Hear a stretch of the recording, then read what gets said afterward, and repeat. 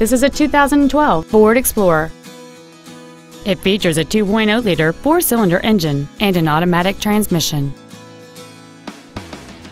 Its top features include power adjustable driver pedals, heated front seats, traction control and stability control systems, 12 strategically positioned speakers, 20 inch wheels, and satellite radio.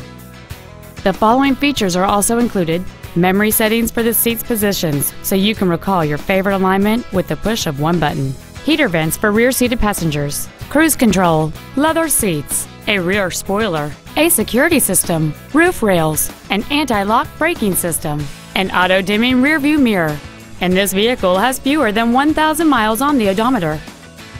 Stop by today and test drive this vehicle for yourself. Helfman Ford is dedicated to doing everything possible to ensure that the experience you have selecting your next vehicle is as pleasant as possible. We are located at 12220 Southwest Freeway in Stafford.